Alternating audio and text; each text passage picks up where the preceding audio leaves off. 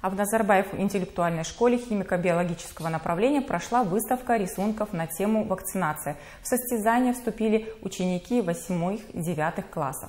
Своим рисунком, своими рисунками школьники напомнили, что вакцинация – это самое эффективное экономическое и экономически выгодное средство защиты против инфекционных заболеваний.